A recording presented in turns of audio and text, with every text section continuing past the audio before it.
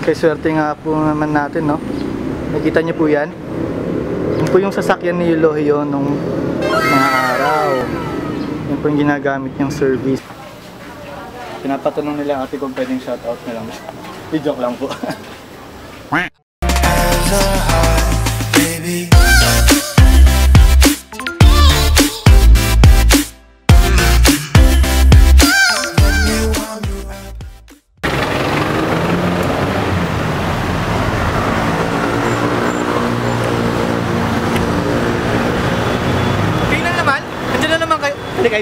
niyo ako dito.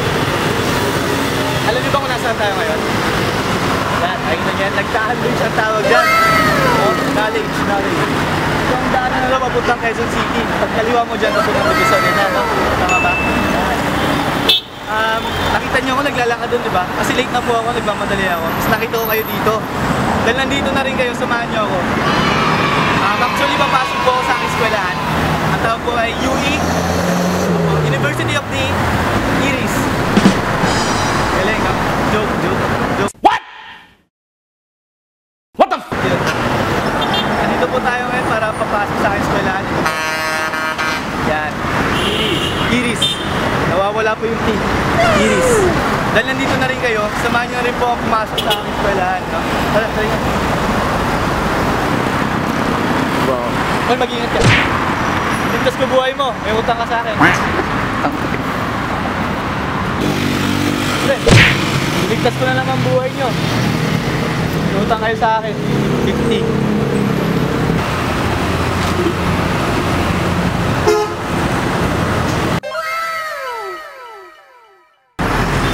Yan. Nakita niyo po, Iris.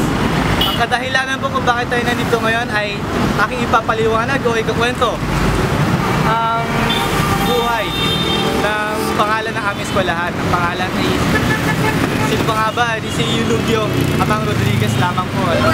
Ikakwento ko ang kanyang buhay. Ipapakita ko sa inyo. Sana may pakita ko na maayos. Sana. Lang choosy, nandito ka na. Wala kang magagawa. Na naman tayo for new video. Ngayon, ito po, ito po yung main main entrance, no? Main gate. Nandito po tayo sa main entrance. Pero hindi po talaga kami dito pumapasok. Doon po kami sa likod. Kailan po kami nandito ngayon kasi may logo eh. Ayan, maganda yung entrance. Ngayon, dito tayo papasok dyan. Kaya may lang tayo na nandito. So pupunta po tayo sa likod kung saan kami pumapasok. Doon kami sa may... Basta, tara na lang. Sumama na lang kayo sa akin. Let's go!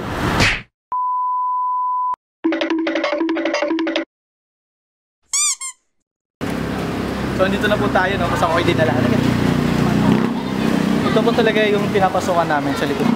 Entrance din po yan ng Ibis. Kasi nandito po yung building namin. Third floor po kami. Fine Arts po ang aming kolehiyo. Eh, what's up dyan sa mga fine arts? Shout out sa inyo. Mga klase. Mga vlogger din. Sa third floor po kami nag-aaral. Yan, third floor. Bilang tayo. One, two, three. Yan, three. Tapos dito po ang entrance. Pakita mo. Nahihiya ka ba cameraman? Yan, ito po yung entrance na. Kung saan kailangan pa namin buksan yung bag para makapasok. Sabi, sabi mo yung magic ano, Ha? magic stick. Saan pala? Magic stick po ako dito eh. Marami akong ganyan. Kala nila. Ako na magche-check ng aking sariling bag. Clear, clear. Pwede na ako dumiretso. Dire-diretso na lang ako. Chinek ko naman eh. Epic, epic. Tara.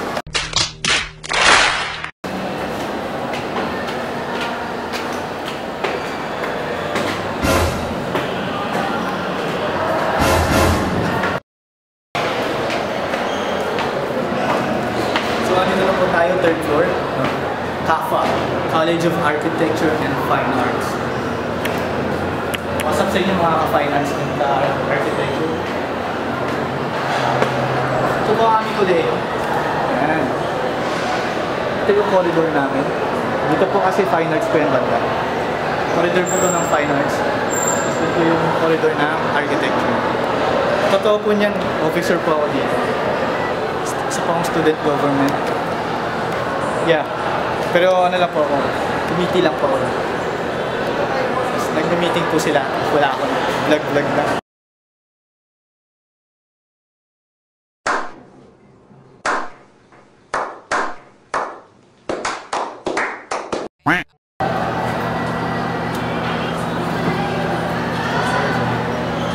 Ah, hello po. Ito po yung aming go. Hi, hello. Vlog na naman yan. Opo. Ito po yung office namin. Uy, teka lang! Ang kalat! Okay lang po. Di, di na po tayo papasok kasi makalat daw. Magpapasensya na po kasi may mga basahan po nakakalat dito. Mga bisita. Okay lang po yan.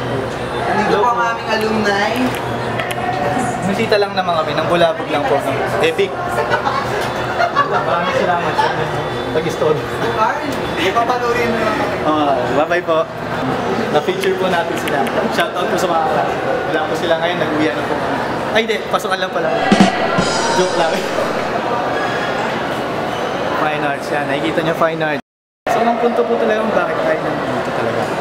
I-explain ko lang naman yung iris. Ibig sabihin po ng iris is Eulogio Amang Rodriguez Institute of Science. Science of Science and Technology. Nalimutan ko pa yung science. Sorry. They ask you how you are, you just have to say that you're fine when you're not really fine, but you just can't get into it. Dito talagang nag-aaral, hindi lang halata. Sa pangalan pa lang is Eulogio Amang Rodriguez. Pangalan po ng tao yun, uh, kilalang tao. Mula po yung sa lugar, sa lugar ko, which is Rodriguez Rizal. I-explain ko po sa inyo. Saan po yun? Another transition. So, what's up sa inyo? Dito po tayo sa UP. University of Iris. Charot lang. Walang university talaga Iris lang. Eh, epic. Naisipa ko po mag-vlog ngayon dahil wala lang akong ginagawa. Uwian na po namin. Itong isa po na iwan. Yan ako eh. Kasi, papunta ko na. Nakasal po. Kailangan ko grande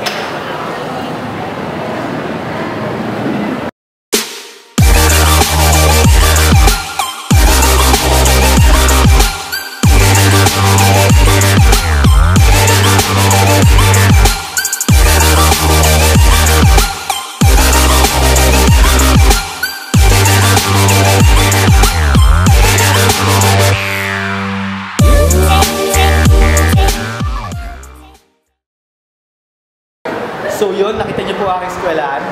Kasi doon sa montage, pinakita ko lamang ay fine arts and architecture.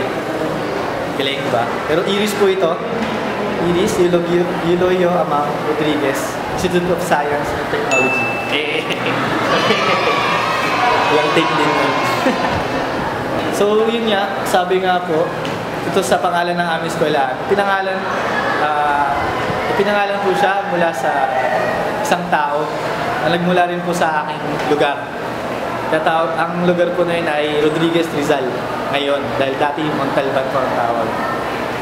Tapos pinangalan din doon sa taong yun kaya naging Rodriguez Rizal po siya ngayon. Kaya ako po ito sinasabi at pinapakilala ang aming eskwelahan sa pangalang Eloyo or, Rodriguez. Rodriguez. Dahil pupunta po tayo sa lugar na yun. Pupunta tayo sa Rodriguez Rizal. Papakita ko po sa inyo ang kung saan nagmula or nabuhay o tumira si Rodriguez. Eh, epic yun. Maganda po doon. Ah, nung una tinawag po siyang Muntalban dahil sa the word na mismo Muntalban pinagmulan is bulubundukin which is bulubundukin po doon sa lugar namin maraming bundok at maganda po yung view doon sure ako magugustuhan niyo po doon sa ating pagpunta ating paglalakbay patungong Rodriguez Rizal so ano, sasama ba kayo? Ayun, kayo, sasama ba kayo? Eh, sige lang. Eh, sige lang. Wala akong masahe. Yan! Bago po tayo tuloy ang lumisan, papakita ko lang ang aming tambayan. Yan, kaya tambayan ko ng itong building na to. Para lang tumingin dito. Yan. Tambayan din po doon yung engineering. Yan po. Iba ko namang kaklase, tumatambay po sa, ayan, sa wall. Pamanghunt lang ng chick.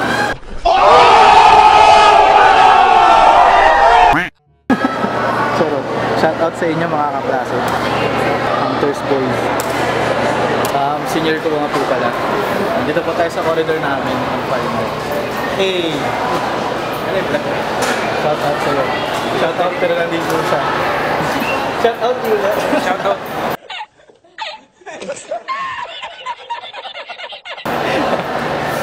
Yan. Fine arts po, fine arts.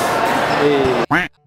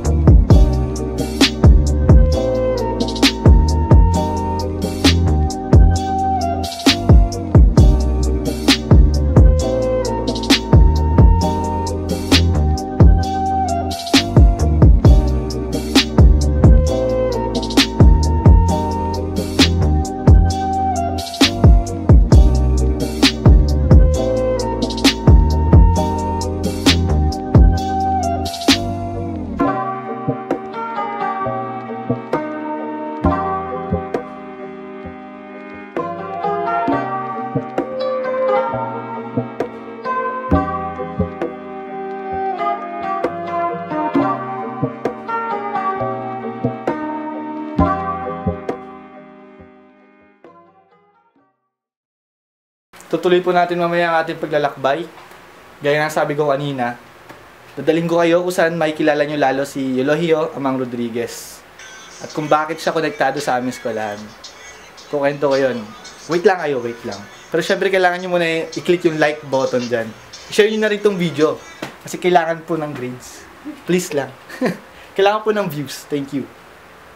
Oh, ba't kayo nagtatago dyan, guys? Mga kapatid ko nga palang doing project. mga makukulit. TikTok lords. Maybe project. So mamaya na lang ulit guys. Mag-aayos lang po ako. And let's G na mamaya.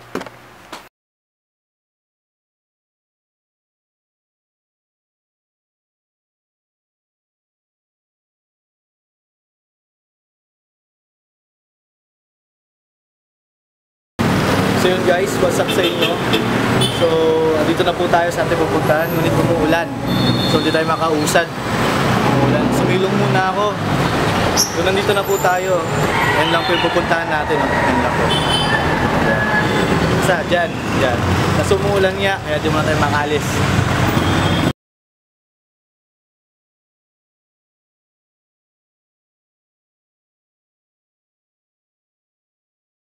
Habang naghihintay tayong tumila yung ulan, magkukwento muna ako sa inyo. So, ano nga ba yung pupuntahan natin ulit? Na natandaan nyo ba? Oo, syempre natandaan nyo, kanina pa hinihintay, di ba? Ang dami pang keme. So ito na nga, andito na tayo. Promise, ito na, sabihin ko na. So kaya tayo nandito ngayon para ipakilala ko sa inyo kung sino nga ba si Elohio Amang Rodriguez. Di ba, pinakita ko nga sa inyo ang aming eskwelahan, napakalupit. Ang kuleyo ko lamang namin ang aking pinakita. Galing. Base sa aking na search, yes, sinerch ko po, yes. Base sa aking na search, si Elohio Amang Rodriguez ay naging presidente ng Montalban, Rizal. Dahilan kung bakit nandito tayo ngayon. Dito siya nagsimula, guys. At dito rin siya nakatira noon. At pinanganak pala. Dito siya pinanganak noon. Siyempre tumira, nakatira siya dito dati. Bilang presidente ng Rizal, ay ng Montalban. Ngayon po kasi tawag sa lugar namin ngayon is Rodriguez Rizal. Dati Montalban. Binago po. Bali, kinuha po sa pangalan niya ni Elohio, yung Rodriguez. Kaya po, naging Rodriguez na itong lugar natin. So, nung Montalban pa ang pangalan nito, siya po ang kauna-unahang namuno dito. So, presidente po siya dito ng Montalban. Yay! Kasi hindi lang po siya presidente ng Montalban. Marami rin po siyang na-appoint na mga posisyon. Kaya dahilan kung bakit sinabi rin po na siya ay isa sa mga pinakamatagal na nagtrabaho sa gobyerno. O isang o sinabi na lifelong public servant. Buong buhay niya naging public servant lang po siya. And surprise surprise. Noong 1940 pala, no? Noong 1940 po ay naging mayor din pala siya ng Maynila. It makes sense siguro kaya nasa Maynila yung Iris. Naging mayor din pala siya ng Maynila. I'm shook nung na-search ko po yun. Galing lang. Kaya po pala talagang proud na proud po ang mga Montalbenyo, Montalbenyos sa kanya. Kilala kilala po talaga siya dati. Nung Montalban pa lang tawag dito, sobrang sikat po niya. Kaya siguro naging sikat na lamang siya dahil ganoon lang po siya kagaling. Ang dami po niyang posisyon na na-appoint sa kanya. Iloyo, number one. Iris, number one. Okay. Um, nung date po pala, kaya, nung, nung date po pala ng kanyang pagka-presidente dito sa Montalban is 1909. 1909. Sinerge ko po. Yes po. Yes po. Legit po yun. Sinerge ko po talaga yun. Promise. Wala lang po sa itsura ko pero nag-aaral din po. Char. So medyo tumila na yung ulan. Try natin tignan yung bahay niya. Pupunta po kasi natin bahay niya ngayon kaya tayo nandito. Um, yung bahay po niya, ganun pa rin po, no? Hindi po nila binago as in. Talagang preserve nila yung itsura ng bahay niya. Kasi yun nga lang po, hindi na siya private pa. Ay, ginawa siyang private pa property upang gawing museo. Ngayon ay museo na siya ng mga kanyang basta history niya, mga gamit niya nandun, mga furniture, mga mahalagang bagay, makikita natin sa loob. Pero hindi pa po ako sure kung pwede tayo makapasok sa loob. Tatanong, tatanong, try natin. So, ano pa hinihintay natin? Let's go!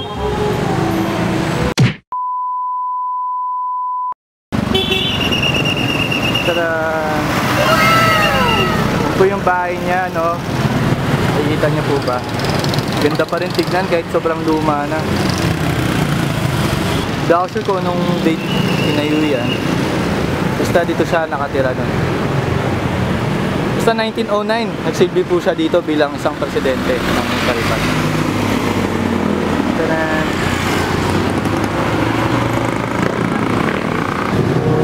Hey, hey, what's up?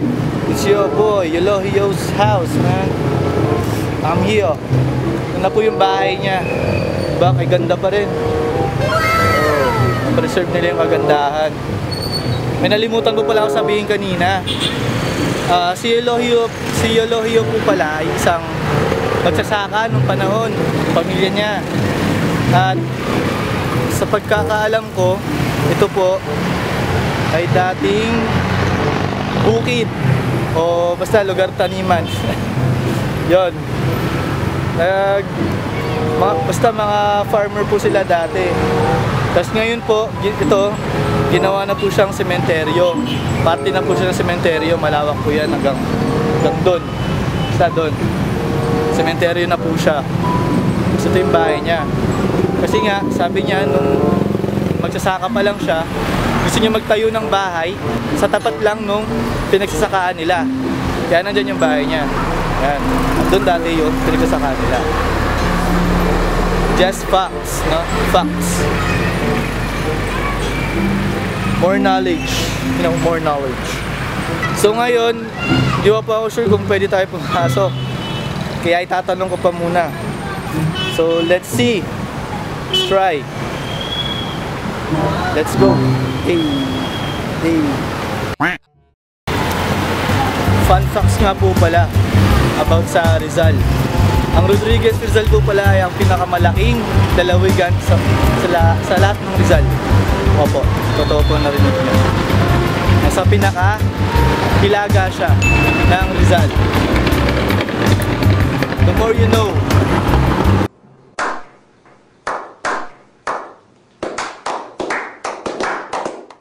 Saka nga po pala, Siyempre hindi lang si Elohio Amang Rodriguez ang bida dito, no? Kaya nga po, ta- kaya nga po siyang tinawag na Rizal. Kakalimutan ba natin si Idol? Ito si Rizal, oh.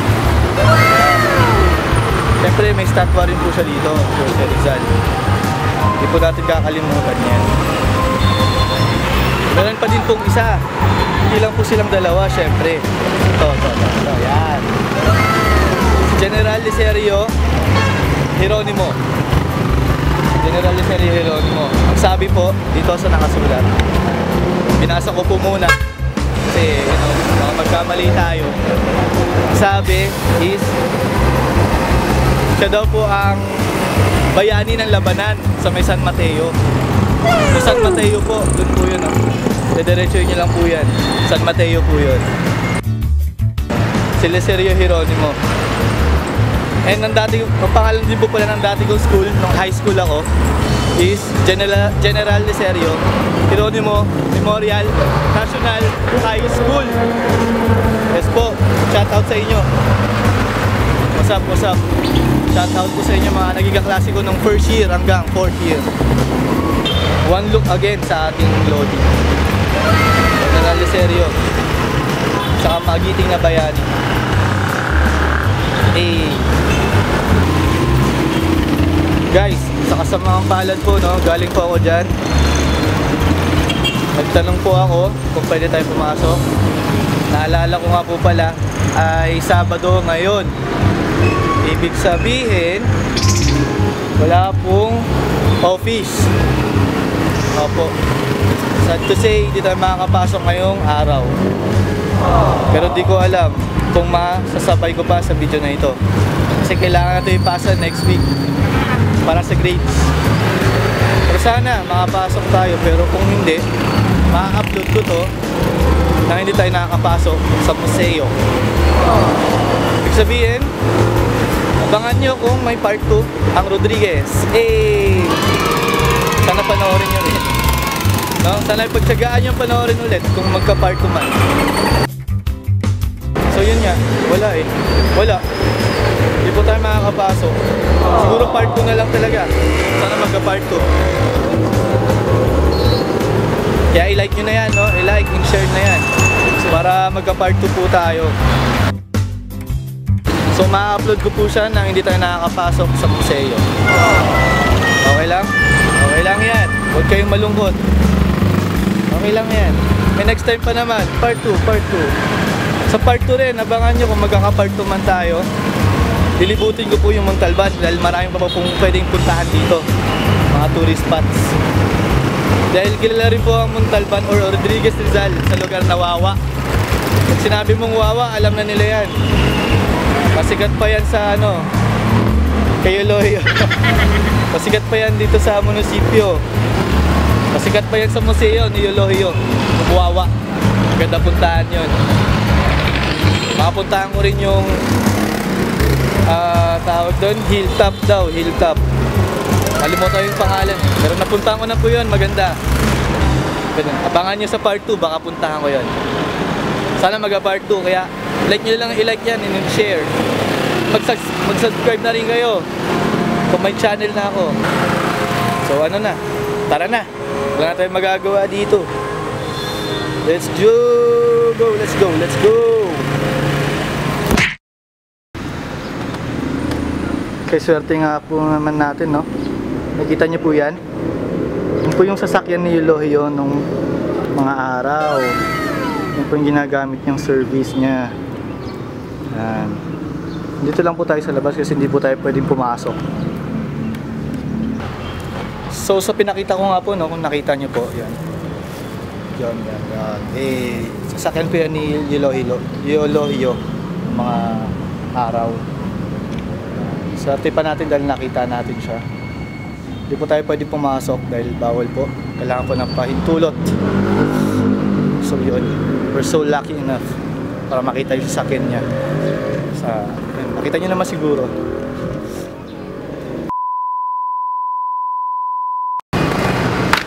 So yun guys, samahan nyo muna ako sa malit kong agenda. Saglit lang naman to.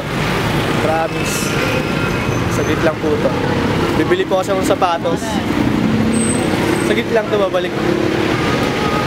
One eternity later. Excuse me po. Ate, may Converse po kayo? Nakulay puti lang po. Pero kung patingin po. Ay. Tingin daw tayo. Plain white. Converse na. Yung, yung tayo magkano po?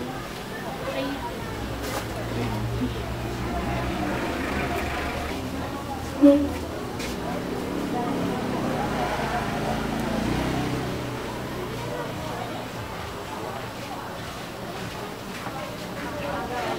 nila ate kung pwedeng shoutout na lang. Di joke lang po. so may nakita na po tayo. Hirap po kasi maghanap ng plain white. Wala daw po sa iba. Dito na nakapag-vlog kasi meron. Dahil kung wala, hindi ko rin isasama to. Yung video kanina. Epic.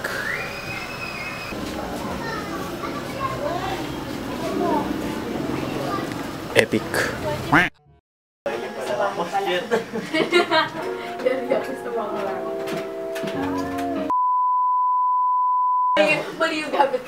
So guys, what's up? Touchdown. Dito na po ako sa bahay. May bisita po yung mga klase ko. Kaway po kayo. Hello po. Kunyari ka-close ko po. Yan. So yun po guys, pasensya na dito tayo nakapasok sa museo pero okay lang yan. May part 2 pa yan. Sigurado ako. So dito ko na po tatapusin ang aking video. Yan. Hello baby. Siguraduhin niyo pong i-click yung like button at i-share niyo na rin po itong video na to. At mag-subscribe na rin po kayo kung may channel po ako. Kahit wala akong channel, mag-subscribe po ako. Hey, hello. So yun po ulit. Ito po ang inyong lingkod. Carl Golo. Papaalam. Peace. Sabi mo, bye-bye. Bye. Bye bye. Quack. Bye.